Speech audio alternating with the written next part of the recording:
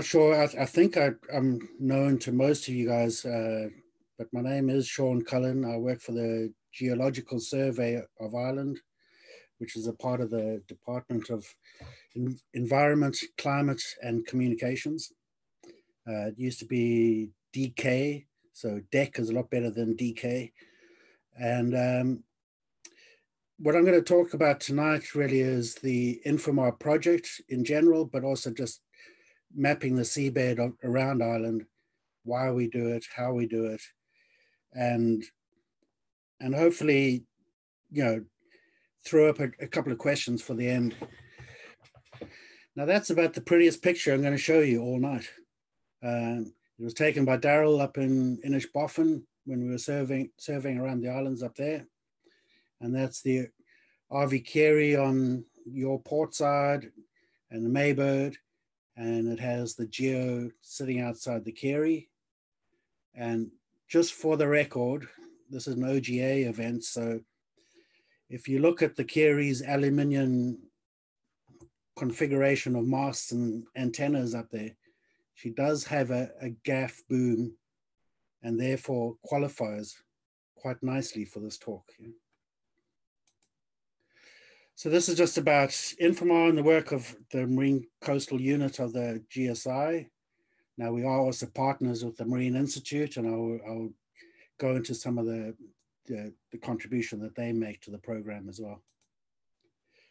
It all started uh, back in the late 90s uh, with, the, with a guy called Ray Keary, after whom the RV Keary is named. And he really pushed for funding from the state to map the entirety of our, of our seabed to modern standards, right? And what they did is they kicked off the Irish National Seabed Survey um, to follow on from what was a UNCLOS, i.e. the UN Convention of the Law of the Sea claim to the natural resources that would lie on the seabed, not in the water column. That's a different thing with the EEZ, but what's actually on the seabed. And the GSI itself, the Geological Survey, um, was very you know, involved in the international effort to, to allow countries to, to look at exploring further than your EEZ and claiming that as potential resources for the countries uh, contiguous to those areas. And they came up with a thing called the Gardiner formula, which was after Piers Gardiner, who worked for the GSO. And he established the fact that if you could go off the continental shelf and the thickness of the sediment at the bottom of the continental shelf would determine a line in the sand, so to speak, between international claims and national claims. And so that's what the, the PAD, the Petroleum Affairs Division, sponsored a survey on the periphery of that area and uh, Ray Keary then brought in the idea, well, we've done that far out. Why can't we do the rest of it? And that's how the Irish National Seabed Survey was kicked off. And that was done mostly by contract vessels. And in the late days of the INSS, uh, we got the Celtic Explorer involved as well. And I was out on her quite a lot in, in my early uh, stint here with the GSI. So yeah, so the, the Irish National Seabed Survey then morphed into the Infomar project, which is a 20-year project funded by the by the government. So why government mapping? I'm going to click through these quickly so you can read them rather than me talk to each one. Uh, but it, it is a national effort. Uh, there's no discernible gains that you can get from it commercially, but it does have a knock-on effect um, to augment industry and commercialism into the, the blue economy. And that's why the government saw the light and commissioned the Infomar project so that we can actually um, you know, utilize the knowledge to make economic gains in the future. And that was the planning behind it. And it's, it's quite, it's kind of unique in the world because a lot of other countries um, survey their own waters and then the military are the only people that see it. or very few commercial aspects get to get hold of it. And so there's there's a lot of um, uh, groundbreaking ways of thinking about why we did this survey. Now, I bet you there's another click or two. There you go. And prior to the to all of this, everything was old lead line data, um, disparate, you know, hodgepodges and collecting data from different sources. So the idea there was to get everybody involved and utilize our, our assets. And these are the assets. Um, you have to do this with ships, planes, and a few other things, but mostly with ships. And I think, you know, you got the Celtic Explorer up on the left there, the Voyager below it, the Polarstern, which was the German um, ship. And they did a lot of um, ground truthing of the, the outer extents of the banks and Rockall and that. And she's she's an interesting one now because they just replaced her for a cost of some somewhere in the region of three billion euro. Um, so that's the kind of money that's involved in these things. And then up on the top right there is the old um, the Bligh, which used to be the HMS Hecla. And there was a businessman down in Cork that bought her and configured her for multi-beam survey when it was still quite a, a novel idea. And she was part of the old Royal Navy, White Navy. She was also the hospital ship in the in the Falklands. And Mick Gagan, who I think a few people might know, uh, he was one of the early project, you know, my, one of my predecessors anyway. And she was taken off to India and cut up for razor blades. But before she left, I was allowed on board and I went down in the hold and I took out the lathe and I took out the binnacle and I took out the, the um, uh, what do you call it, the, the, the, whale boat that was on the side of her, like it was a naval cutter and that's sitting in the west of Ireland now. And there's a few other bits and pieces of her that are lying around in my garden at the moment. So that was an interesting one. And then in 2006, there was a, a bit of a slush of money around just before the crash. And to be honest, it was actually broadband money was available through the department. And we were, we commissioned the building of the RV Keary and she was actually built down in Cape Town, my hometown. So I was down there for the a bit of the build of that, and she's actually now proven to be one of the the most capable, able, um, and economical vessels that we could we could run as a government program. And a couple of other ones there you can see down the bottom right is uh, the Concat, which is a fold upable container. I mean, uh, catamaran that fitted into a container, leaky as a sieve, and an old um, inland fisheries boat down the bottom left, uh, which we, would, I'll, I'll, come on to that in a, in a bit. But th these are the kind of vessels which is for, for us mariners is kind of interesting stuff. And just a couple of pictures then, yeah, during the, the survey of the INSS and that, there's all the good stuff of, of being at sea and, and being happy in your job. So Infomar followed on from INSS and it's due to run from 2006 until 2026. Um, and it was broken up into different areas. But Infomar has this weird acronym that stands for the Integrated Mapping for Sustainable Development of Islands Marine a lot of people think it just means means information marine, but it's actually it has a, a bit of a history behind it. You can't really read that very easily, but it is broken up into three sort of program areas, which is the data acquisition, the management of the data, and the interpretation of the data. And that'll become clearer as I go through this. Originally, we, we broke the survey effort up into priority bays, which in, in my view now with hindsight was actually a mistake because working in bays and going around the country and doing all the bays is actually doing the easy bits. And when the weather was really good, we weren't going out to the, the headlands and mapping the headlands while we could, because in the second phase, that's proven to be an issue in some ways. I mean, it's a 10 year issue, but it, it, it is harder to do. It's much better. And I've actually got recognition out of this now is that start in one area and do everything and work in a consistent manner around. But obviously, every harbor master, every research project, everybody wanted to you know have a bit of the action. So that's why it happened that way. But from an operational point of view, um, it made it kind of difficult. So that's just to update you on the, the inshore fleet. I don't know, can you guys actually see my cursor there? I don't know, nod if you can. So we have the, the Keary here and uh, 11 meter red bay rib, an eight meter red, red bay rib, and then a safe haven um, catamaran that we got off of um, Safe Haven down in Youghal. Uh, it was about two years ago. And that's kind of the inshore fleet. And we've added one more 11 meter red bay rib. So if you see them around, that's us.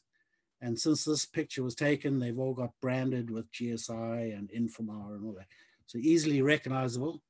And just to let everybody know right from the start, if you ever encounter the vessels anywhere around the country and you know in ports and harbors, please, please, you know, go on board, talk to the guys. They're more than happy to, you know, lead you through what they're doing and, and probably do a lot better job than I'm going to do tonight. So. So that's it just graphically, just to show you like from the coast, um, the RV Geo works in the shallow water, and this is a lot to do with the MSO licensing. And then we have the, the 11 meter rib, the lure, and the Gulti has now joined her as well. And they can actually work from inshore and the offshore. But the Keary originally was only allowed 20 miles off the coast. Now she's allowed 30 miles to join the Mallet at 30 miles off the coast. And what we've done with the Marine Institute, as I said, they had worked inside of 30 miles, but those are big vessels pushing a broom. And it's better they push the broom in the deep water where they can stay out for 24 or weeks at a time. Our, our inshore boats generally have to operate in uh, daylight hours. Uh, the pots are a huge problem. And yeah, and it's also, it's a manning issue as well. So yeah, from a, a mariner's point of view, you can't just, you know, push people so hard that they work 18 hours a day in, in the middle of summer. It just doesn't work. Yeah, so. So just yeah, as as Johnny said at the start, there you know, the acreage is huge, and we've actually really gone beyond you know most people's expectations on the planet, and that's what Peter Heffernan, who used to be the CEO of the Marine Institute, um, coined the real map of Ireland, and it was a, it was a great PR move, and we all loved the idea of the real map of Ireland because we can claim an, an ownership or a, an involvement with that. And that's what UNCLOS wants. They want you to be involved with the offshore um, side of the, you know, of the of the economy, really. Yeah. So the real map of Ireland will will come up a, a little little bit later there. And you know, where Daryl saw us there in, in Inishbofin, we can also do the real map of Bofin, and we can also do the real map of other places. And once once you kind of square it off, it's a really cool product that people understand what's out there underneath the water. Yeah. So my clicker. And then just on a on a world scale, you can see there, you know, that's the globe in um, Google Earth. And that's that's a layer that's actually in Google Earth. And you can see it, it's like it's impressive. It's um, you know, it's the size of a a large European country when you look at it that way. Yeah. And then in the nitty gritty side of it, you know, Dublin Bay, old gaffers, that's what your bay looks like. Uh, this isn't the, the best picture of it, but it, it actually shows the um, the linear features of, of the features of the boats actually rocking and rolling. There's a very early picture of Dublin Bay, and it was mostly done by the Celtic Voyager and we'll come back to that again later. That's a very bad chart of, of Dublin Bay. But if you look at the source diagram on the Dublin Bay chart, some of it has, you know, partial sea coverage, partial this, but 90% of that chart was 1840 to 1880, and that was all done by leadline. You know. So this is where we changed the, the source diagram to a certain extent. However, we did leave a little strip up on the, the southern side of the Howth um, Peninsula, which had um, uh, Captain Bligh's data in it. And I'm very, very reticent to go over that and erase them off the old Admiralty source chart, but one day we might. But this, this is this is the game changer in terms of resolution, and this is very early data. So that's Laoghaire Harbour. Um, you can see where the dredge has been in the middle and the pockmarks from the, the, the moorings around the, the harbour. Uh, we've we've done this several times already, but as I said, this is an early one, um, and the resolution gets better and better every iteration of the actual hardware that we use, and I'll come on to that again later. And that's Dublin Port, you know, very early again, where we went in just to double check the charts. And this is where it gets really interesting because you you kind of stepping on the toes of the harbour master's remit to supply data to the UKHO or the mariner through the charting systems. And we found a few bumps here and there in the middle of the, the harbour, but it's kind of soft mud, but it was shallower than what was on the chart. And then we had to have an emergency meeting with the harbour master and say, what's going on here? And obviously it's kind of dynamic because any mapping system is just a snapshot. So it was agreed then with UKHO that we would um, put it down as maintained at 7.5 meters and then became 8.5. I can't remember the numbers, but it was really important to realize that there were you know, different interests in having accurate data. So nowadays, the um, requirements for the dredging in Dublin Port are much more stringent than they were when we first ran up and down that river, yeah. Or that harbour, the port. So this is, okay, I'm gonna flick through some of this more generic stuff, but we all know the, the mantra that we know more about the surface of Mars than we do about the, the ocean, and it's all because it's covered in water. How do we used to do it? Um, lead lines. I like the guy in the middle there. I, I never realized they swung the lead that high. It's a bit of a misnomer, you know, when they say swinging the lead is kind of being lazy, but it doesn't look like that guy was um, being lazy at all. Jacques Cousteau, uh, the early days of everything. And Bob Ballard, who was involved with quite a lot of the the exploration, I guess, of, of the deeper ocean, um, and really, unbeknownst to most people, he he was one of the I don't know the, the guys that really pushed the the um, technology that we could look at the deep ocean and that he was doing it under military guise of looking for something else. Happened to see bits and pieces that would lead into the Titanic. They were actually looking for a submarine that the Russians had um, had sunk or yeah, it's a long story.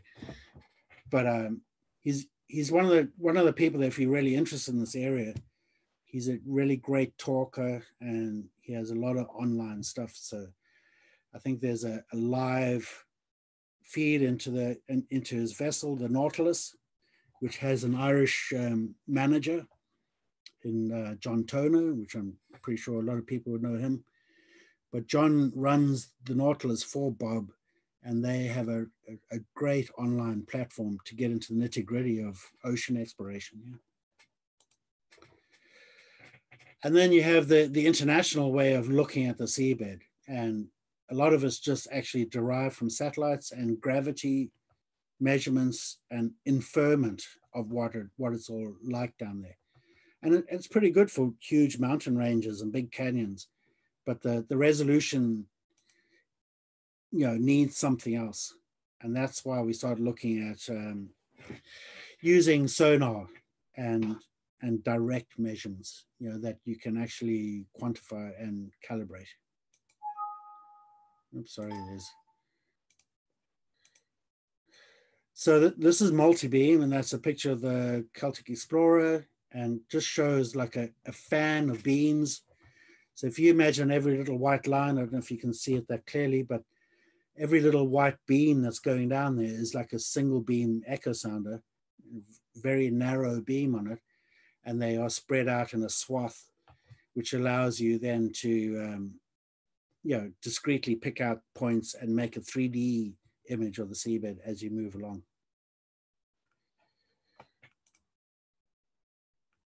So I'm going to go through some of the equipment and I might just fly through this because I'm already a half an hour into this and I know I could go on for about three hours, but uh, those are the two vessels. We know them fairly well around the country. Um, a lot of the gear that you don't see is normally underneath, obviously, and some of them are, um, yeah, what do you call it? Retractable units.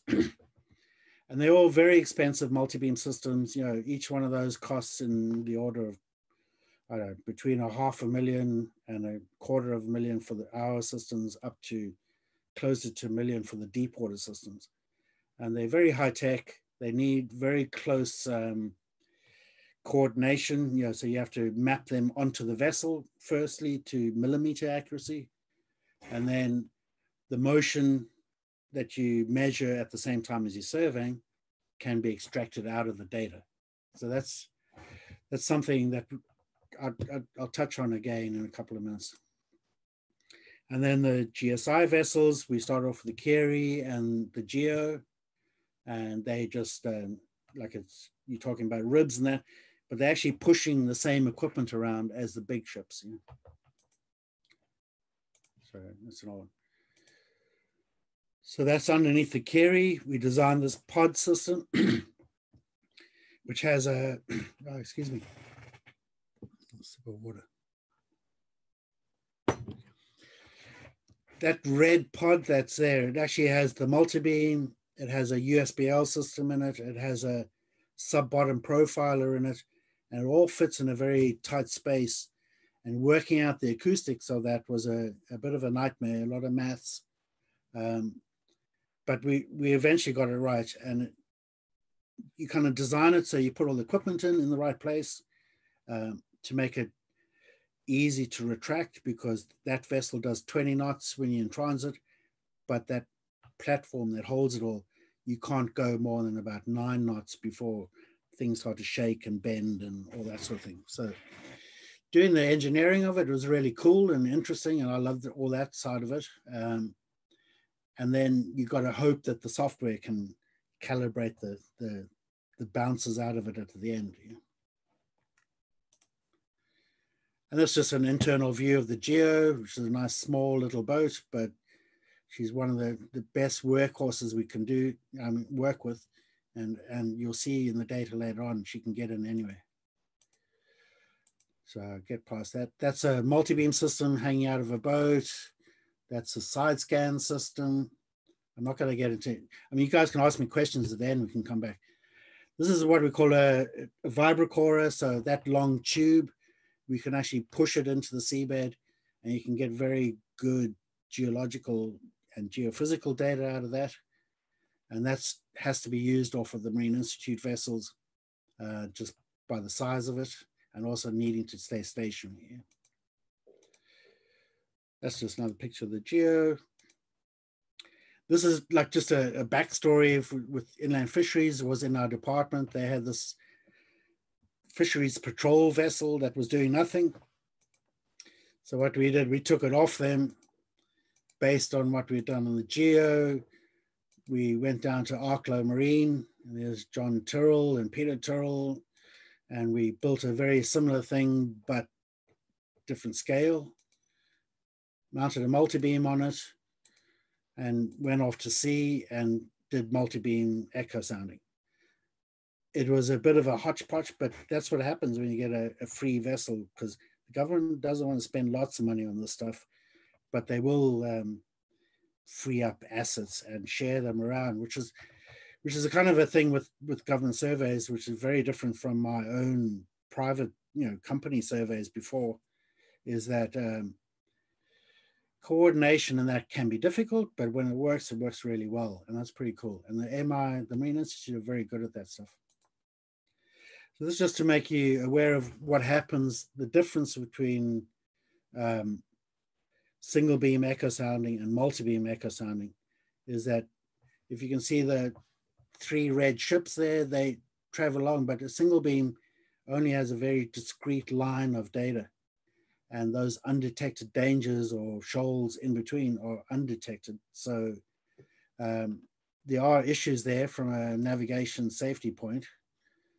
And sorry, I'm just going to flick through this because I know I won't have time, but these are all the different configurations of multi-beam for different depths and different resolutions, etc.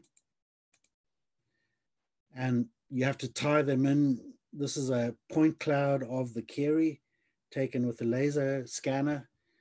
And as long as you know the relationship between all of those little dots and your um, multi-beam beams, and you take the mathematical um, motion out of it, which we measure very accurately, that's how you get a, a very good seabed image. Yeah.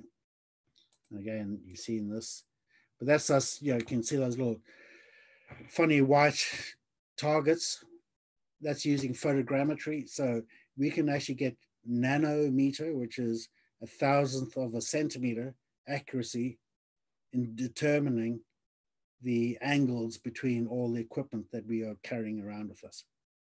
Okay, so you're talking about really accurate um, geometry, which allows you then at the final product to have a geometry that can be less than half a meter off, if you like.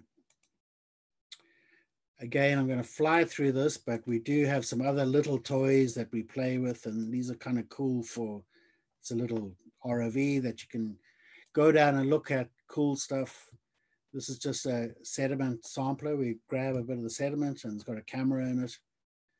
Um, you have magnetometers, which are useful for looking at the geology. And also, if you go over buried shipwreck, you will actually get a couple of like pings on that. We don't use it as much as we used to, but um, there's a there's a kind of a plan, I guess, to to go back and look at areas of interest rather than tow this around all the time, because we lost so many of them. They get snagged on fishing pots, and it's an expensive thing to lose. And again, being you know interested in the seabed, we need to know what what it's made of, and the best way to do is go down and actually take a chunk out of it, and um, these are the kind of instruments. It just goes down as it hits the bottom, the jaws close, and you bring up whatever whatever's on top of it. And then to get a bit deeper into the sediment, you can use that yellow tube on the left, which has got a big weight on it.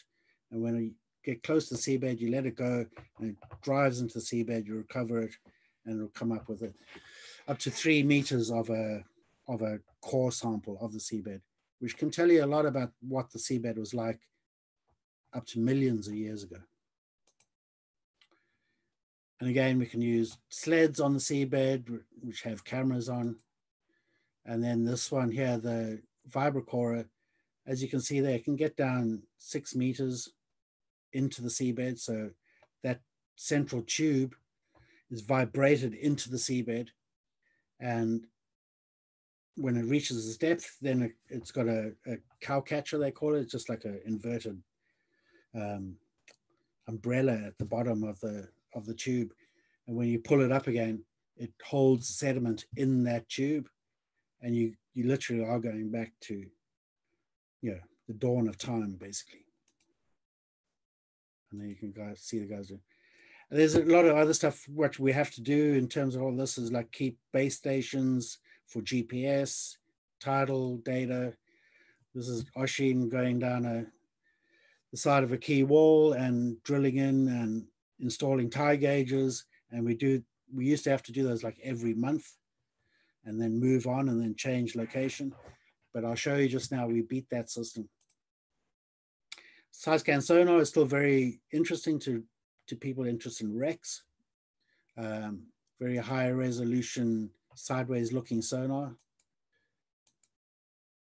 And that's on the back of the Keary, and we can put quite sophisticated um, GPS tracking onto it. And this is the Guide Me 2 wreck, which is just off of um, Dalkey, well, it's just outside the Muglins there. And it's very popular with divers. And uh, that's that's a side scan image of it, which in the early days was a better picture of the wreck than what we get off a multi-beam. Um, however, these days you'll see just now that the multi-beam is is almost a better image unless you're trying to look underneath it. Now I know there's a few divers in the audience there, and that was just a. If we lose the pinger, we have a, a handheld device that you can dive with, which will locate the the pinger that's lost on the seabed if you get snagged, and divers can use that just to. It's a range and range and uh, no, it's just a ranging system that you can. If the range is getting shorter, swim that way. If range is getting longer, you're going the wrong way. LIDAR is an airborne system for doing the seabed mapping as well. I'm not going to get into too much detail. Excuse me here because I will rush through this just to keep us within a bit of time. But LIDAR can do a much bigger area than, than the boats can. And Clew Bay was a great example of it. We had this done back in 2006 or seven. And it uses lasers, uh, two different lasers. So you have the red laser bounces off the surface and the green laser actually hits the seabed and the difference between the two will give you the depth. You can also use satellites. Uh, satellites use uh, the, the light spectrum. So this is like very dark blue spectrum and you can see certain things.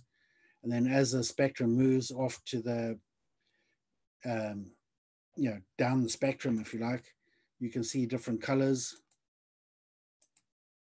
until other details pop out.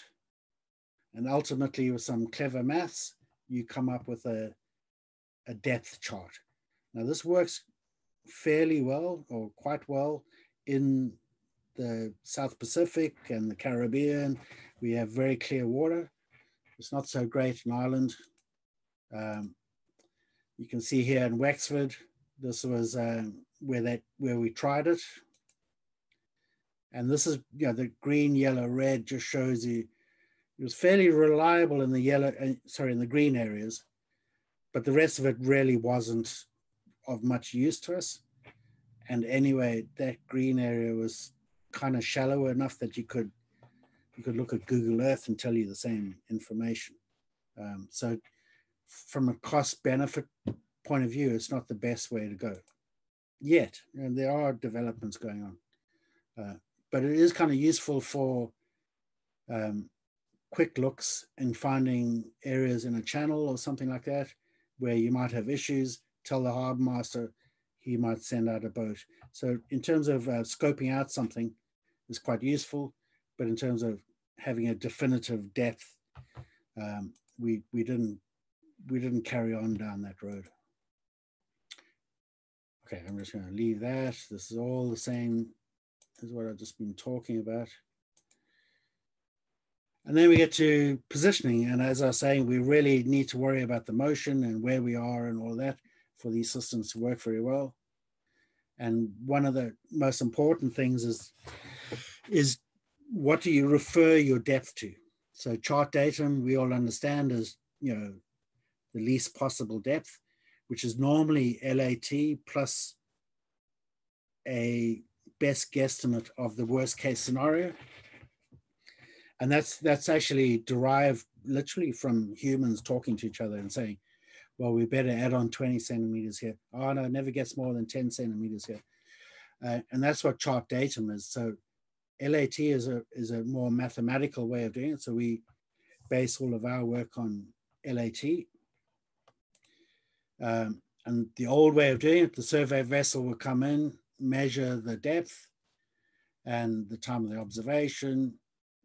Then you get a tide gauge and between the time and the tide gauge and a co-tidal chart, we can make the best mathematical um, assumption that that's what the depth is. Uh, what we do nowadays, um, sorry, next one. What we do nowadays is we use uh, the vessel coming in with GPS. It measures the height of the vessel above the reference frame of the Earth for GPS.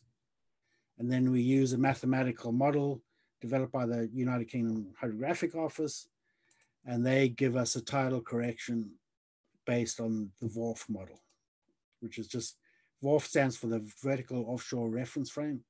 That gives you a direct depth measurement, which is much more, in other words, you don't, it's as, as if you have a tide gauge wherever you go, which makes it more accurate. And I think there's a number here. Uncertainty associated with the VORF model result is 0.12, so 12 centimeters. And it, even the tide gauges that you look at, if you look at a board nailed to the side of a tide wall, or even the electronic ones, the jumpiness of the data is huge. So that's, as far as we are concerned, that's the most accurate way to do it, even though it's coming from a model. And that model is derived from gravity, and gravity is very easily measured by satellites. So it's a win-win for us. And this just shows you the, the curve of the tide against manual measurements and using the vessels tied up alongside. And so we, we sat there for 48 hours sometimes using our onboard measurement tools and doing the um, manual measurements and using the VORF model. And there's very little difference except where the GPS jumps up and down now and again. And mathematically, that's very easy to smooth out. So we're very confident in the height of the water or the, the measurement of the depth of the water. And you have to be because of all of these International Hydrographic Office um, specifications for what we need to measure, uh, you know, the accuracy of how we measure it. And as I said, I'm going to send on all the stuff to you guys if you want to have a look at those numbers. Um, but I'm going to run through something here that um, I think a few guys might have met my, my friend August Magnusson, the, the Icelandic skipper of the of the Keary, and and he's a great guy, and he's um he put together this slideshow, and I'm going to really go quickly if I can, but it, it's quite good in. Whoops, I should actually go back there. What he was saying there, you do all your preparation, everything's ready to go, and you head out the harbor, and that's what you see. There's no surveying in that.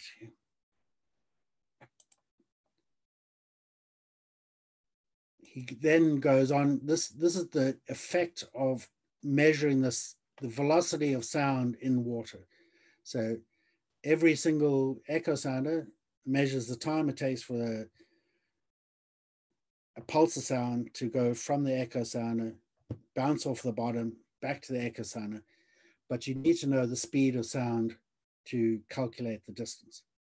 And if you don't know the speed of sound, this is these every single little dot on that screen is one measure, one echo sounder measurement.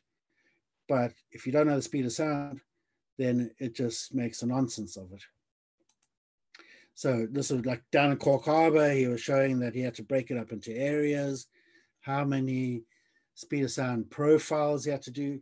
And each one of those squiggly lines shows by depth, the difference in speed of sound every time you take a measurement. So it's really important to understand that that's important. And most ships echo sounders and yacht echo sounders are actually set at 1500 meters a second.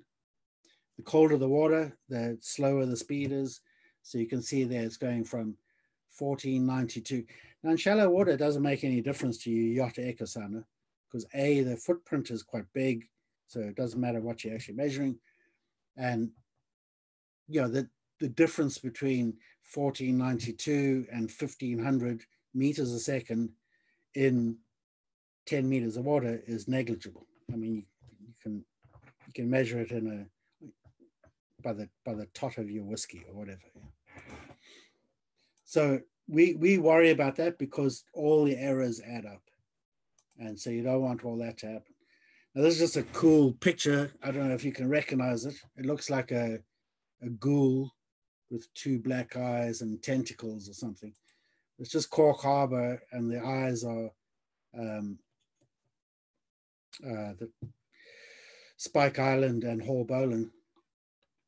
But yeah, like these are really important waterways, and if we if we don't eliminate the errors to the best of our ability, then you know putting standards onto your data is hard for the mariner to rely on the data. And the UK Hydrograph Hydrographic Office really come down hard enough on us if we don't um, report all of the methods that we use in order to get safe navigation data.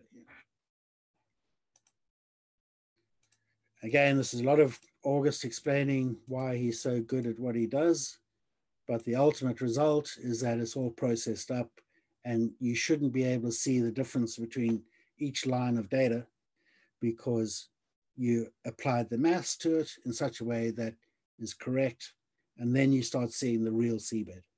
When you first go up and down, because each little yellow line there is one pass of the boat, the first time you do it, you, you look at the data and you say, nobody will ever want to use this. And then you can concentrate in on um, you know, areas of interest. But if the data has been driven, like this is on the RV Geo by a new skipper, and he was going all over the place. It looks like a, a bowl of spaghetti, as opposed to an experienced skipper that would keep the line straight. Um, so there's a there's a lot of online QC that you have to do with the data, and that's really where the experience of people and passing on that experience is really important. And we really try hard to make sure that as we bring in kids a lot of the time that we make sure that they really know what what they're doing in order to make the data good. You know? Sorry, this is not clicking. I'm going to go through this. That is all about. So I'll just go fly through this. This is August put this through. I was actually on shore taking pictures of the Keary, but that this is up off uh, Achill, and you can just see the Keary going up towards some sort of white water there.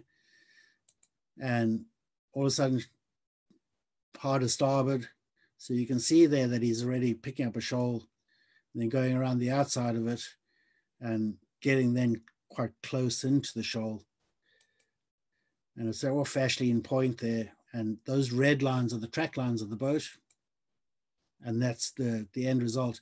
But the interesting bit is where it goes through the through that gap.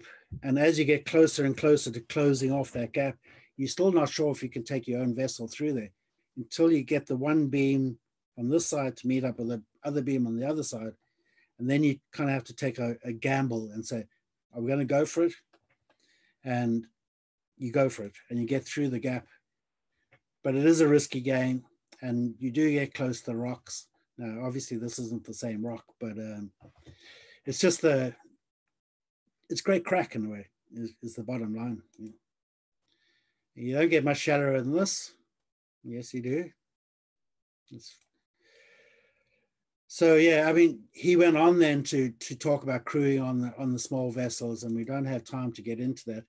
I just want to touch up some of the the other stuff here quickly. Is that yeah, there, there's obviously a big cost to all of this, and we had Price uh, PricewaterhouseCoopers do a study on it and a cost benefit analysis.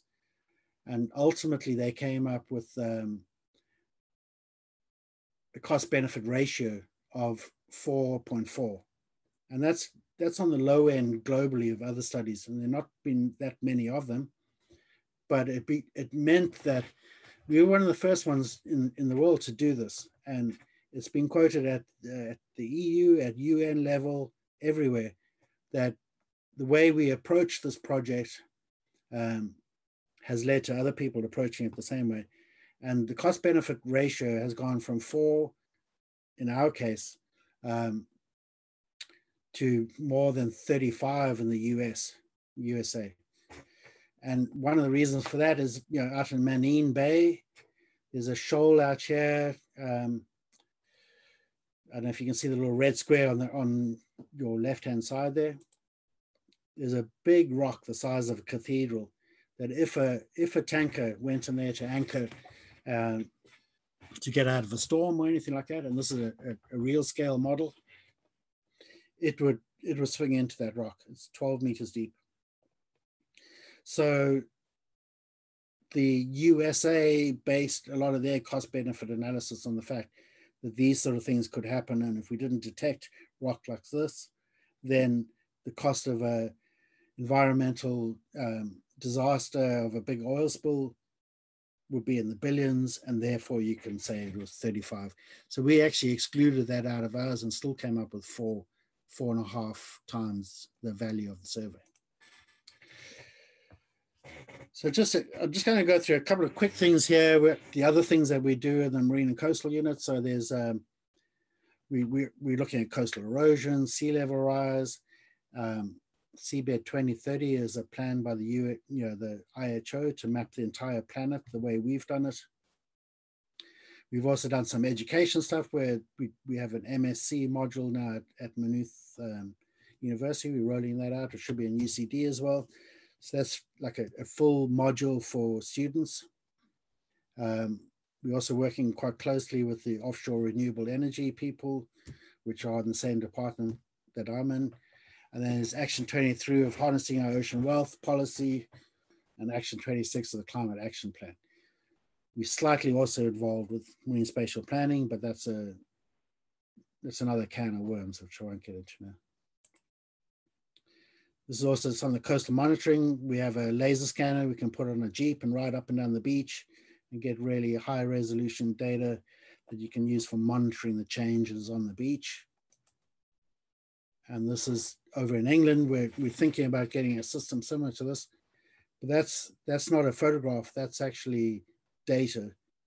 Uh, it takes 2 million scans a second and it gives it a real color and so for coastal monitoring and seeing how erosion works, this is something we're trying to get cross government support to buy and, and do some real coastal monitoring as opposed to um, yeah, satellite or yeah, aerial photographs and that, but measure down to sub-meter changes. Uh, having said, you know, we're not using satellites. We are, of course, and you know, it, it does the whole country very quickly. And then we also you know, are involved with quite a few Interreg projects, which are European funded, and um, the Cherish project, which is online as well, um, uses our data and heritage and ar uh, archaeology data, and they're looking at you know specific sites around the uh, the coast of Ireland and Wales, and doing some pretty cool stuff with it in terms of you know informing methods really on how to go. So it's kind of you know groundbreaking stuff. Um, using the kind of data that we have that we hadn't thought would be useful, but apparently it is. So that's brilliant. And again, tide gauge stuff. This is out on uh, Inishmore, and we've got a tide gauge paid for by the the UN, and that's doing radar measurements or sea level rise. And that's actually a primary um, tsunami warning for the whole of Europe. Uh, it's the one closest to where if there's a fault on the rock Rockall Bank, which we've identified has happened before from the data that we've looked at from the INSS, there was actually a big landslide off the side of the, the canyon there, which inundated Europe back a long time ago. I'm not sure the dates. Uh, but the idea is that if you have a warning system in Inishmore, it's not going to save Ireland from a catastrophic result, but it will save the people in Portugal. And vice versa, they have one down there, which is looking for tsunami coming from the Canary Islands. And these things actually run in real time. So, you know, if we get a message from Portugal to say there's a wave hitting Lisbon, which wiped out Lisbon a long time ago, we would know that we had enough hours to evacuate people off the coast here. So these these are these are things that people don't really think about, but yeah, it's fingers in these different pies, I guess, um, and that's a, it's just a real thing. That's just our internal stuff. I know this is uh, this is one of those things that are real, and and I wanted to put it in there because there's a lot of people involved that um, that work with us and are, are cool and and have done a lot of like innovative stuff. I'm not sure if I have enough time to go through too much of this, but I'm going to fly through it and give us a chance at the end just to um, ask questions if we need to. So the UAU is the um, underwater archaeology unit of the depart of the yeah Department of Housing Planning, and we've worked a lot with them. Uh, I know Paddy Barry was up here with us. Uh, he anchored off and came in to see us, and we were doing a lot of wreck investigations up there. And and I think we can come back to this later if we want to. But there's a lot of diving off the back of the Keary, and it's um, it's it's it's a really nice part of the job. You know, you're just not mowing the lawn. Uh, that's actually myself being taught how to put a suit on. I was only down for 20 minutes after that, but it's great crack.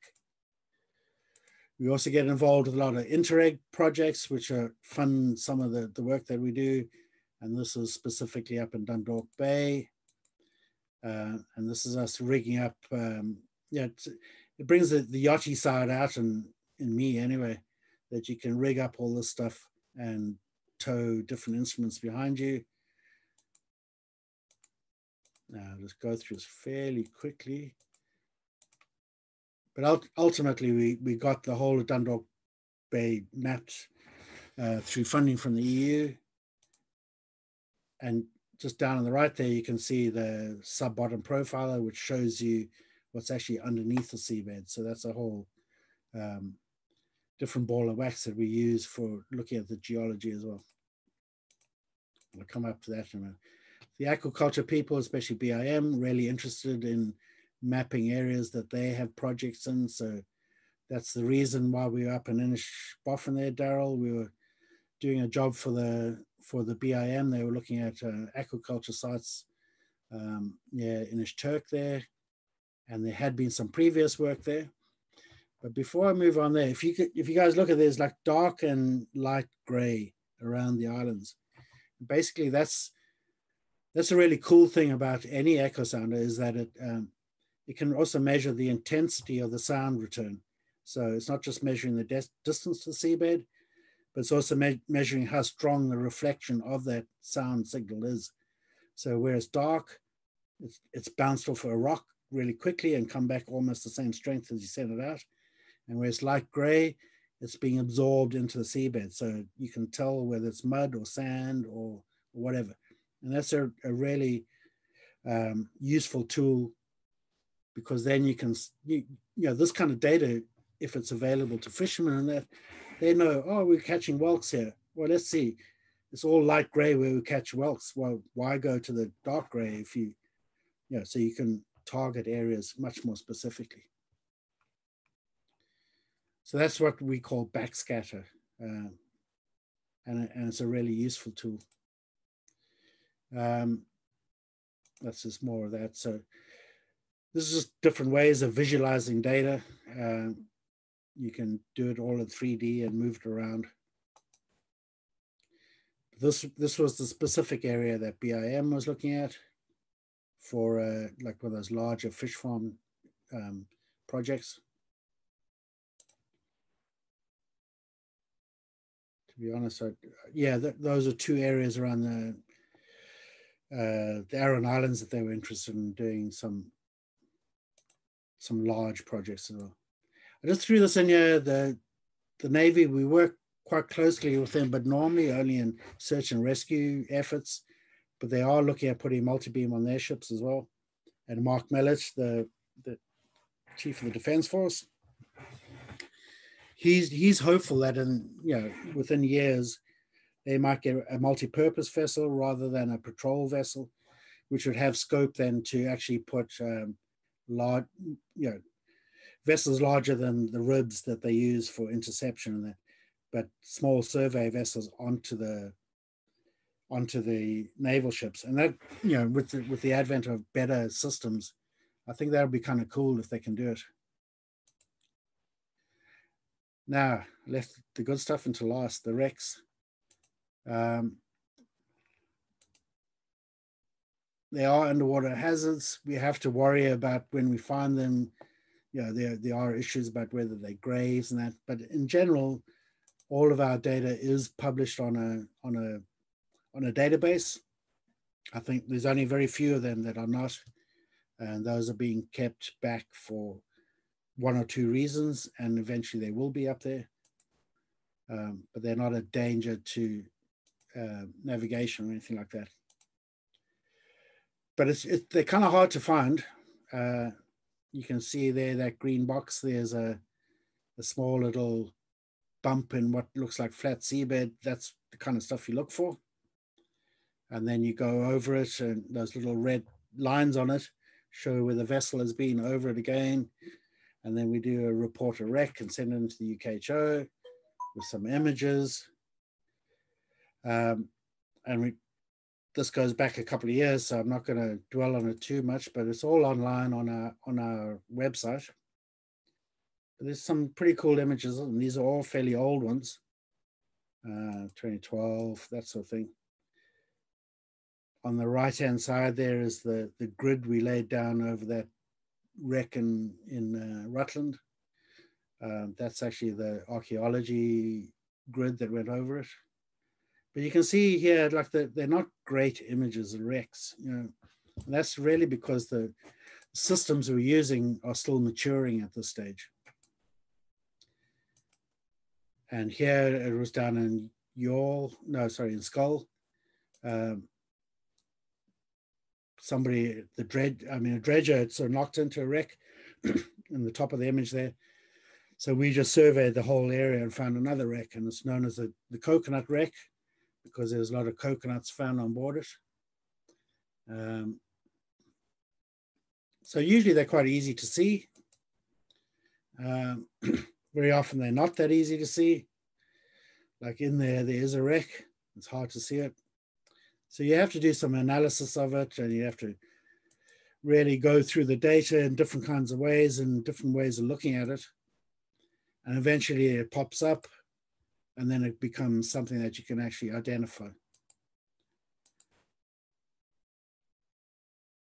Now, just I don't want to really draw attention to the Manchester merchant as such, but just have a look at the way that image looks now and compared to a couple that'll come up later.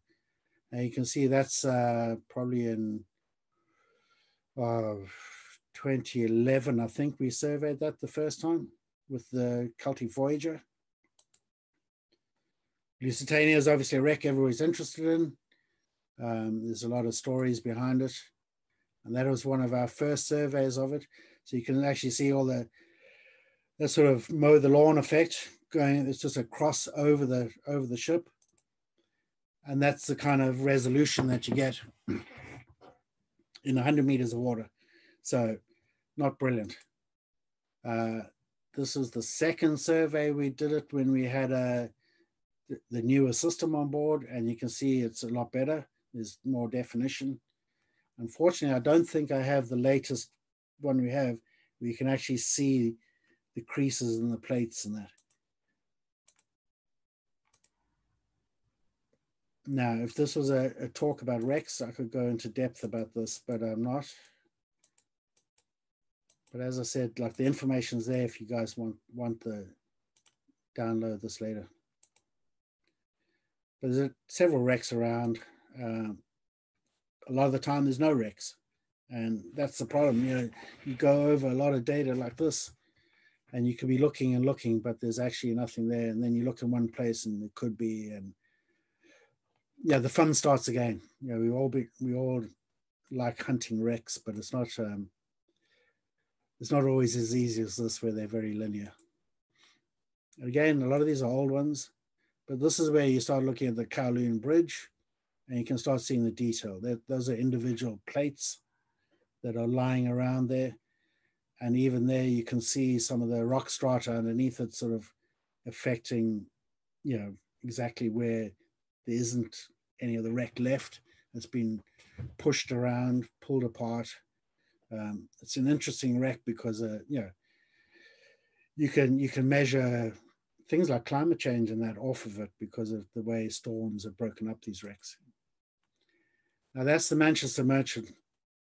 And it's a huge difference from the picture I showed you three slides back. Uh, you can actually see the boilers there and the, the plates with the ribs on them lying around the wreck. And all that data is available for everybody to view. It's all on our website. And once you're on the website, there's actually links to different viewers that you can have a look at. And yeah, that's saying the same thing. This is a book that um, underwater archaeology people, I don't know if few, few of you all know Karl Brady. Um, Ian Lawler works for BIM. He has a huge collection of um, photographs of of the ships, you know, old postcards and that uh, before they were sunk. So it was a it was a great reference point to to do the before and afters. And the book's quite good that way. He's got those are his uh, pictures up on the top, and then our data showing it on the seabed. That's one of Ian's pictures of a U-boat up in Belfast and diving pictures. So it's a cool book to to go through and that one about the warships, and that came out in 2012. And then in 2019, um, the gang put together a book specifically on the Lusitania. So just getting back to our boats and that, the, those are just different pictures of them again, so you recognize them next time you're out there. And this is a little drone picture of the boats tied up down in Baltimore and we saw that earlier, but it's just to show that the the Lir, the 11 meter rib also goes out to the 30 mile limit and the Keary also comes in inshore. And those different colored blocks are basically each vessel's survey effort. And I think this is all in 2019, uh, yeah, 2019. So you can see it's a bit of a quilt work that we have to stitch together. Um, also, right on the inshore stuff, there's the the geo and the low working right inshore as well. Um, and that's just a, a, very rough showing of the data in 2019 and getting in around Baltimore on the inshore vessels. And once you merge that with what was done originally by the Marine Institute, that's what we mapped around Baltimore. So it's a hard life, but somebody's got to do it, you know and it's pretty cool stuff. I mean, you are literally up and down the coast down there and getting to know the locals and the lifeboat crews, and it's brilliant stuff. You know? um, and they all love it, and we try and engage as many local people as we can. And obviously, there's the, the marine station down in Sherkin, and Matt has been a friend of the project for a long time, and he was really delighted to see us doing this. Yeah. So it's just showing you some of the detail around there. Uh, scary stuff in amongst the rocks in certain places. And then Lough Hyne, that's the, the channel into Lough Hyne. And you can see it there in a kind of a 3D view of it. A lot of this now hasn't, I mean, there's better re resolution images, but this is what we just took off doing the job. Now, this is all the boring stuff, so I'm going to fly through it. But we have to work all out, you know, how much are we going to do every year? So there's lots of spreadsheets and we use the old charts um, and ECDIS charts, the electronic charts, to work out the depths from what we think should be there. We do the calculations, put it all together, put it into a spreadsheet essentially, and try and work it out per thousand square kilometers and then we come up with what we think we can do per year. And there you can see there the target was 3,390 square kilometers and we achieved 3,562. So not a bad model for guessing what you can, can and cannot do. never mind the weather and all the rest of it. So, um, yeah, we're starting to know what we're doing. And this is the plan for this year. So that red area, we should have finished the stuff south of Baltimore, but we just had one bad month of weather, which we couldn't get out there. But it's not so much the big blocks of red, it's the small little bits in along the coast. That's what eats your lunch. It just takes forever. Just quickly then, um, a few other things that we do. Um, this is what we did, yeah, last year. COVID delayed us a little bit. We were in Castletownbere, so obviously you work for, you do whatever you can to help the harbor masters out, and then he gives you the keys to the showers. Um, Bere Island, so you can see we got really in tight around the island there. Another real map of Bere Island. Uh, Cod's Head, lots of nice geology there. And that's the calf, the bull, and the, the cow. And that's a Spanish trawler that's right in the entrance to Costa Bay. Now that's the way we see it in real time as you go over it. It's only when you clean it up afterwards that you get more high resolution. And again, the Manchester Merchant showing you the detail that you can get when you when you look at it, um, when you go over it several times. We also did an MSc with uh, Maynooth University, did 15 hours of teaching, uh, plus two days of time on the Voyager, which we had to do virtually because of the COVID. But it's, it's trying to get trying to get the young people involved again. Um, and we, you know, we're going to keep on rolling that up. There's a, there's a lot of effort in it, but uh, I think hopefully we can do a, a virtual thing that we can give to especially the I think the the people in the Maritime University down in Cork, you know, the Maritime College. Uh, Cormac de Brood there is very interested in getting his instructors to to do the course so that he can feed it into the mariners courses, you know, the, the deck officers, etc. So they understand where it all comes from. Then offshore renewable energy, all the windmills. Obviously, there's a lot of interest now in our data. Um, there's the EMODNet, which is the European data warehouse for all of this data, and it's broken up in all, all sorts of themes. Um, geology is obviously one that we're in, and bathymetry, I think we are the biggest contributor in Europe to the EMODNet, although I might be wrong because France um, has a similar sort of size of data, but they also claim their foreign, um, you know, the, the, overseas territories and all that sort of thing. But we're definitely at the top of the pile in that. Um, so in the geology of EMODNet, I'm going to fly through this very quickly, but just to see what we actually do with the data besides put on charts and look at pretty pictures of wrecks and stuff. you, you look at the real geology and you can convert the grids and look deeper into the data and put all the sub-bottom stuff and interpretation and that into systems which take this pretty picture of uh, you know that's the mouth of Waterford and the river there uh, but there's all these little channels off to the side and what are they what form those channels are they either going to be geological faulting or they're going to be old landscapes of rivers or you know, understanding that stuff is important to understanding the planet. And so we look at it. I'm just sorry, I'm just going to click through quite quickly. Look at the sub-bottom data where you can see things buried and then digitize it onto where you can have some sort of confidence of what you're looking at. And this feeds into a, a bigger understanding of the whole of what Ireland looked like looked like before the Ice Age. And that blue line around Ireland is where the old coastline used to be. And then understanding the way that's been eroded, or you have, um, you know, the, where the ice is actually pulled back from Ireland, it took the weight off so she can actually bounce up again or tilt it one way or another. And there's all these different isostatic movements um, where the, the weight of the ice actually changed the level of Ireland. Yeah, so she's actually she hasn't really bounced up, but she's just tilted a bit.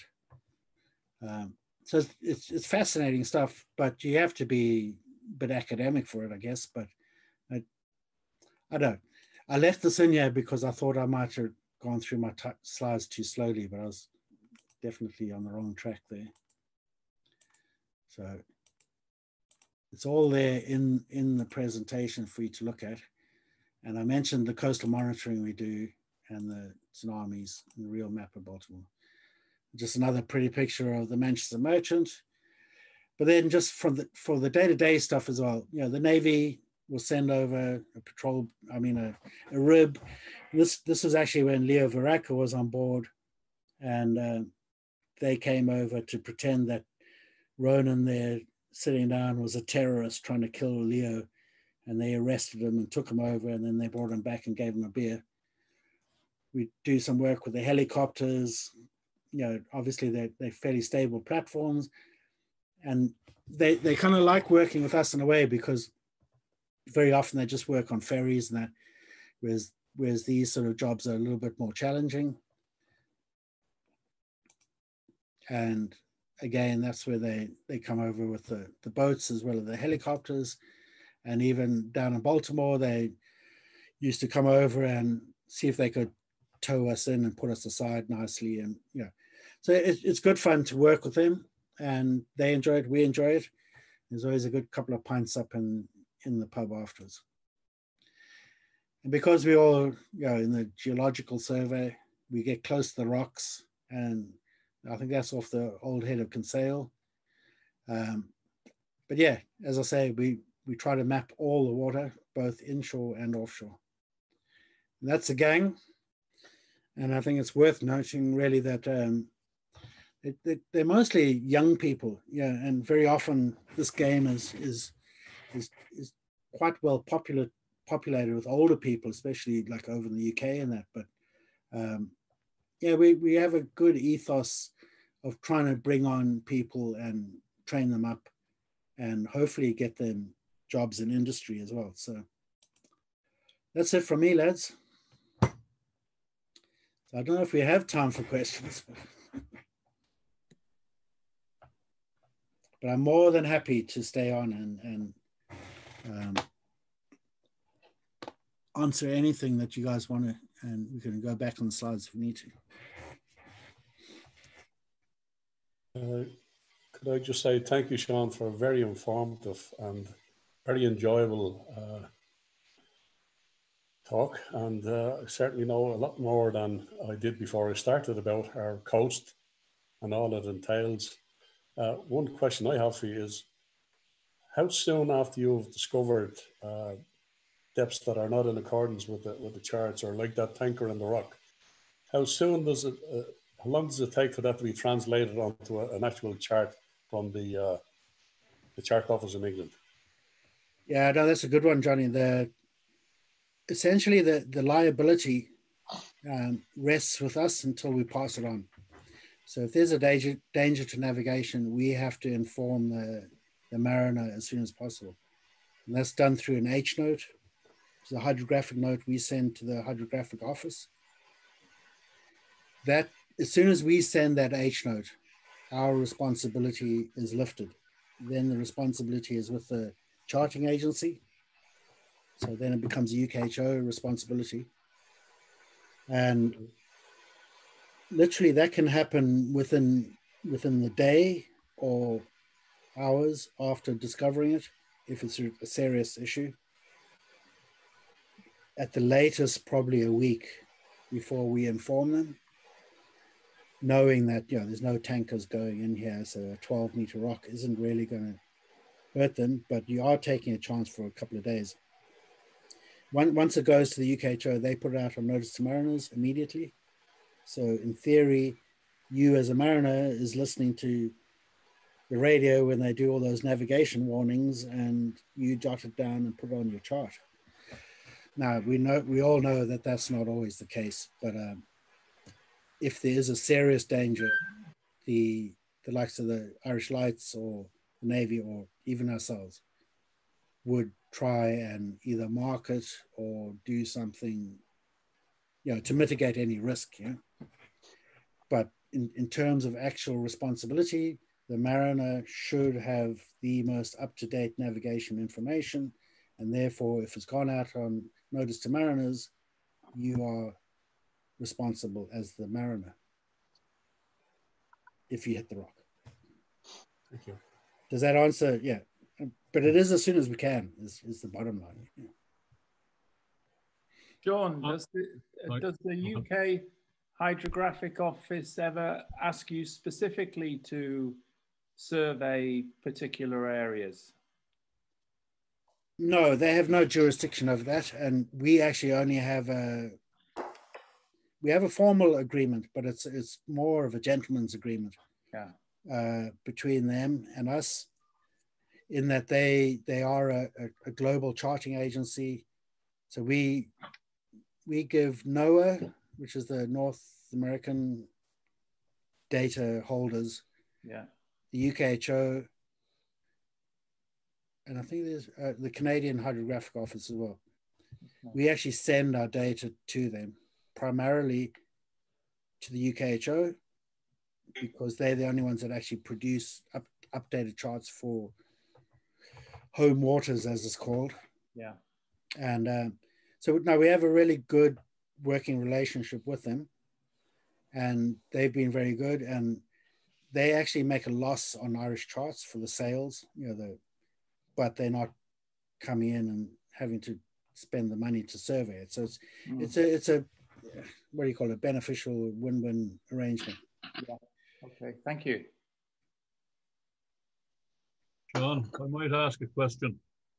I know it's only a drop in the ocean uh, by comparison to all the work that you've done, but I'm just wondering how the, the south side of Dublin Bay been comprehensively surveyed? The south side? Yeah. Yeah, I, to be honest, we first surveyed it almost between the the Poolbeg Light and the the west the end of the West Pier.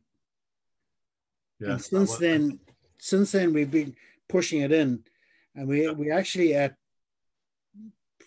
plus one from LAT now, pushing yeah. it in. Well, the, the, reason I'm asking you is because of a specific interest in that relative to a talk that I gave on Zoom uh, recently, was the wreck of the Palme. Uh, back in the 1990s, early 90s, myself and a colleague actually discovered the site of it, the, the ship that was wrecked in 1895, the lifeboat were lost. Uh, and we got a huge sub bottom reading on it, and a subsequent dive that we did, very bad visibility. There was just a few small bits of it sticking up, but that's all we could see. I'm just wondering if would there be a, an infrared image of that particular area available. You know, you know, when I was showing you earlier there that the um, how how hard it is to see a wreck, is is simple. It's a simple explanation. Is that you could never sit down and go through every single patch of data with with a micro with a microscope on it. Absolutely. So we we try all the tricks we can, and if you can make it show up, then you investigate it further. But if if you don't see it on the first pass, you don't see it. Yeah. And if you're not looking for it, you won't see it. And so, therefore, I mean, if you know roughly where it is, my best suggestion is get hold of Charisse, which I know you know you've you've met her before.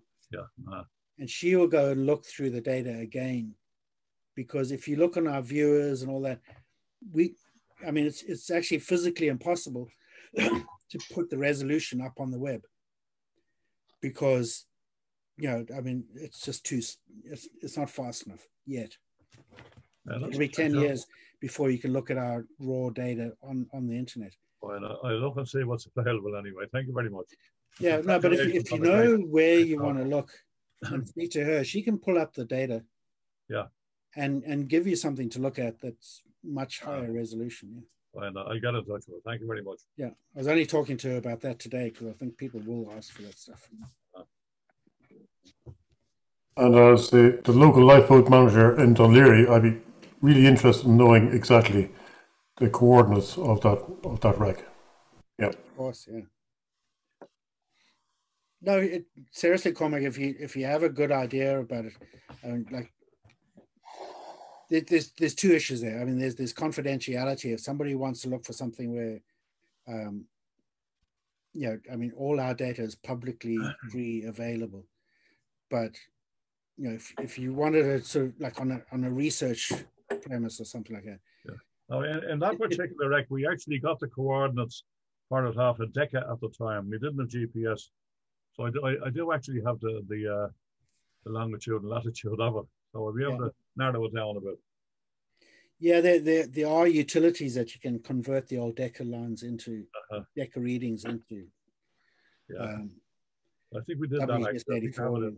In, in long and lapse, you know. Yeah, one one of the the older members of the of the um, DMYC, he had a lot of marks in in around the Irish Sea that were all in in Decca. Yeah, and he actually gave me his old graph papers, and I found that's why I found the the converter. Hi, Sean. Can you hear me? I can, yeah. Yeah, uh, Sean. Uh, I presume all your servers are done to a single chart datum. Yeah. Yeah, it, essentially we try and keep it all to uh, 84. Well, it's WGS 84 in the in the horizontal, but the, the vertical datum is LAT, so lowest astronomical tide, okay. which is not chart datum. All right. What, while you're surveying, do you take temperature readings as well? When I was when I did a not a very good job of going through the sound velocity, you know, the speed of sound in water. In order to determine that, you need the temperature. Okay. And you need the conductivity and you need salinity. Yeah, I'm interested in how you're seeing uh, climate change and how, how do you see what's happening at the moment? It's a good question, Sean, and we don't look at it mm. from that point of view yet. We have all the data there, but you know, because we're not systematically testing one place over and over again, we have millions of records, but you can't correlate it to one place and going back to that same place every year in order to get the seasonal side of it and all that. So it's not that easy to do it that way. Now, in theory, um, some sort of a machine machine learning type code could take all of all the boats, the marine industry boats, our boats, private survey. If we put all of that data into a a big bucket and got the right spoon, stirred it up, you should get some answers. But nobody's actually working on that at the moment, as far as I know.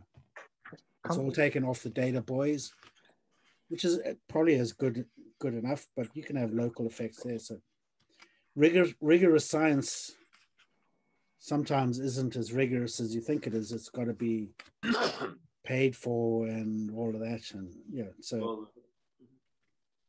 congratulations. I think GSI did a superb job. Well done. Yeah. Yeah, I must say it's a great, it's a great job, but uh, sorry. I Sean, Sean, do you have time for one more question? Absolutely, yeah. I said Ed here and Kerry is very pleased to have seen you in Bantry Bay last year with your small rib. But I was also delighted that it didn't mean there were any more fish farms or turbines going in there, but it was part of this great project. Um, can, can, you speak to the, the, the value of otherwise these crowd crowd-sourced sonar things, um, the stuff that you find in navionics, which uh, causes me some concern at times? Yes, crowdsourcing is a is a is a yeah, it's an interesting one, and it depends. It depends on the quality control. Is is the bottom line. So the IHO is is in favor of it our our hydrographer, who is in the Marine Safety Office, put a put a paper around um, asking all the stakeholders in Ireland. Mm. The, the, Navy was not very happy with the idea of doing it.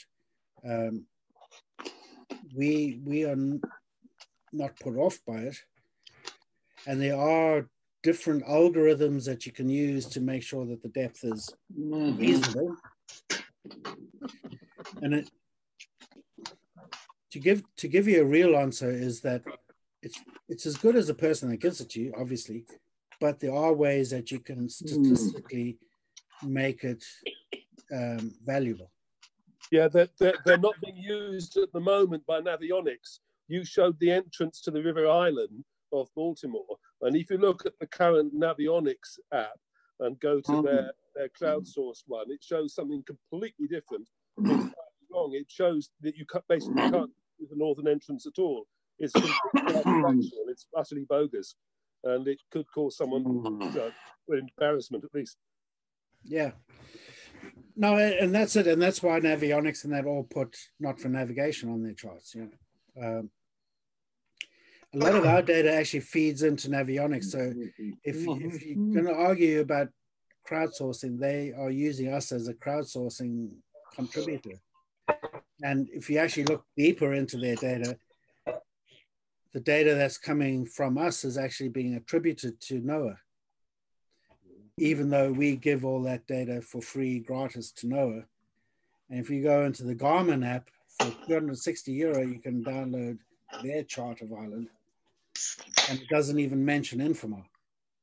So, yeah, this, this is this. It, it was something we discussed right at the beginning of of Infomar, but our SecGen at the time was correct, I think, in saying we should give the data to everybody for free government program and all that. But it depends on how you argue what is crowdsourcing then. But if if you have some mm-hmm. bad data through crowdsourcing, then theoret- the, the theory is that if you get enough crowdsourcing, the the bad guys will be eliminated by the, the good guys, if you know what I mean. Yeah, well, we were very surprised that there wasn't a simple algorithm going on to show if this is massively out with uh, the existing survey, then then then then don't use it until you interrogate it, because that particular example is just is just sort of bonkers. Yeah. Um, but anyway, um, I, I, I, tell you I, what, Ed, got... I, I tell you what, if you if you want to like you know send me a kind of a, a more focused sort of you know detail on that. There's a couple of people that work with me now that will be really interested in that, and they can say, "Okay, let's go and have a look." And, you know, like Norman Keynes and that, he, he comes up to us all the time with anomalies and all sorts of things. And yeah, Norman has to put up with my ranting about navionics in particular. It's a pet peeve of mine, just how just how inaccurate it is. It's just yeah. appalling, you know. Yeah. But anyway, uh, I'll, I'll bore you as well with some stuff. and I do. I mean, thank you very much. More, I'm more than happy to pass it on to somebody. I, I, can also say how moved I was at your preservation of Captain Bligh's little bit. That was absolutely great. well done. oh, we have to. We have to look after them. Thank you.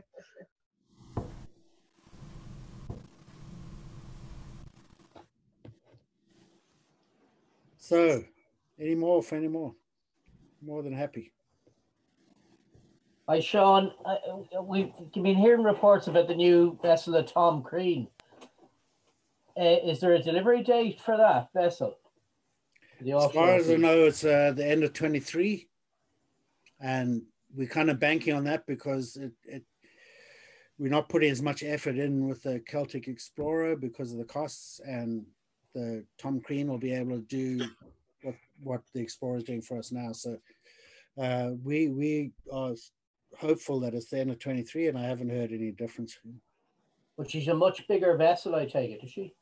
She's in between the Voyager and the and the Explorer, yeah. Uh-huh. Yeah, and, and they put a lot of thought into it, and like the propulsion system and all. Yeah, she'll be. I think she's got deep. Yeah, she'll be a, a, a game changer for for you know the the deep water stuff, especially. Yeah, yeah it sounds fascinating. Yeah, and the Voyager is still a great vessel, and it, you know, wishful thinking they could keep all three of them, but yeah, there, there are costs involved, and it's not it's not cheap at the end of the day.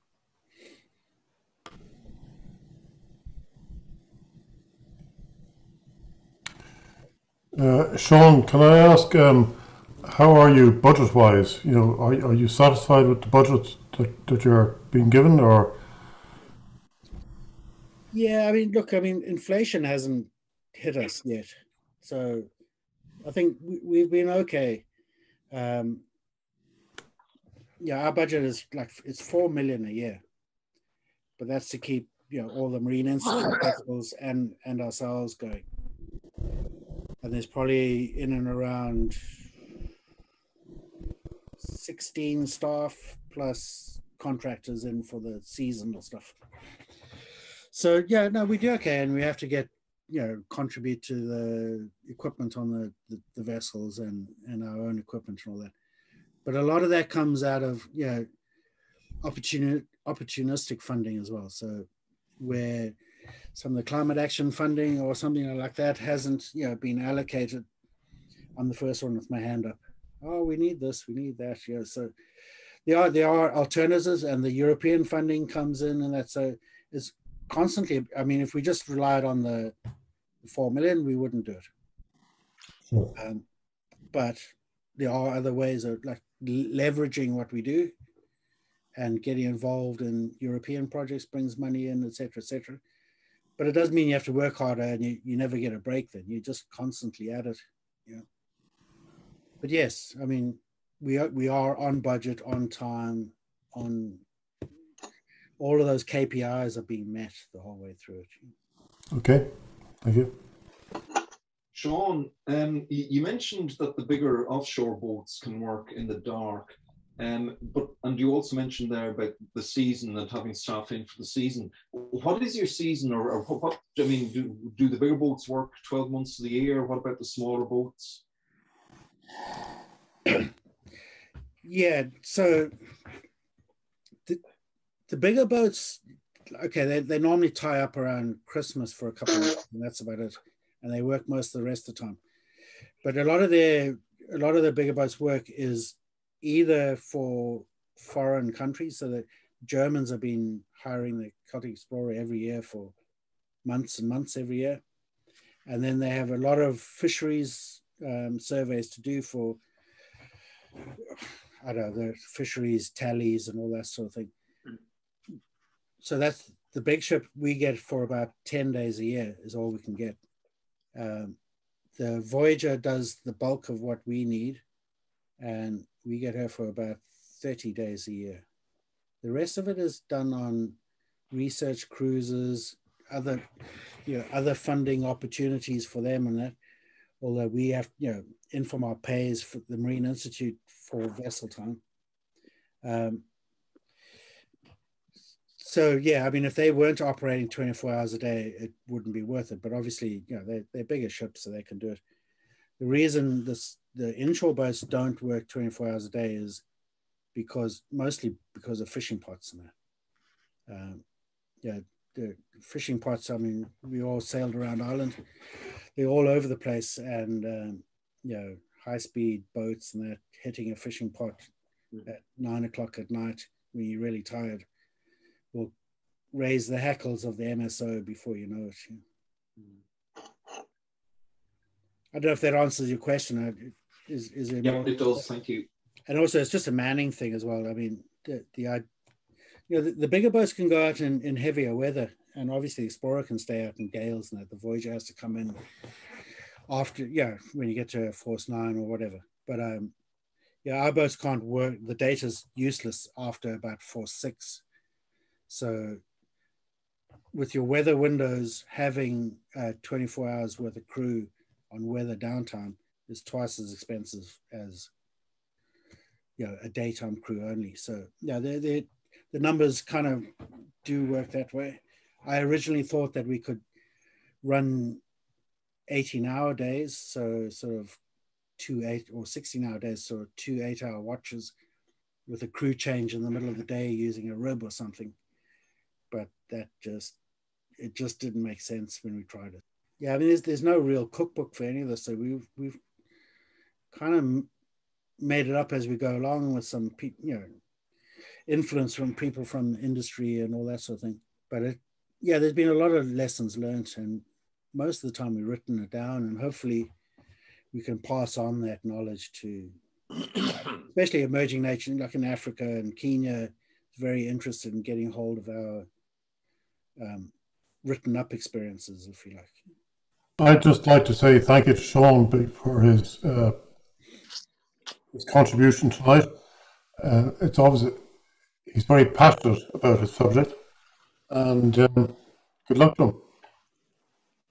Well done, Sean. Uh, fair play, everybody. And uh, listen, I mean, it, it, was one of those things where I kind of strung a lot of different things together. But uh, I mean, feel free if anybody ever sees the boats, and that's the best way to find out more is just go down and you know August and and the gang that's on the boats are really cool and more than happy to show you around and even take you out of the if the opportunity's there. Yeah, they're all passenger boats at the end of the day. Thank you. Thanks, Sean. Okay, well, look, uh, once again, Sean, thank you very, for a very entertaining evening. And uh, by looks of things, there's a second uh, talk, and that maybe next year. Uh, thank you to all our guests and to our members. Uh, thank you to Mark and, and to Daryl for organising the, the talks and the mechanics of it all. And I think without further ado, I'll wish you all a good evening.